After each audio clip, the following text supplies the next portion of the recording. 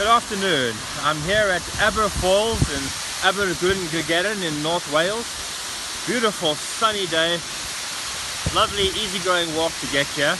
And with me today I've brought a bottle of Aldi's own label Glen Marnoch, Glenmarnock Islay whiskey.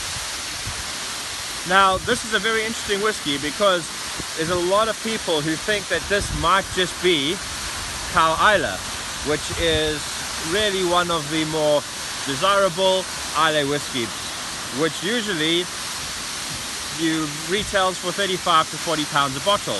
But this you get at Aldi for 17.99 a bottle, and that's a real bargain. And uh, to be honest, to my taste, having tried both of them recently, they are the same whiskey. They taste exactly the same. And really, you have no shame in going to Aldi and buying yourself a bottle of this and enjoying it by the fire. It's a beautiful, peaty, but sweet, vanilla, lightly vanilled Islay whiskey. Let's have a taste.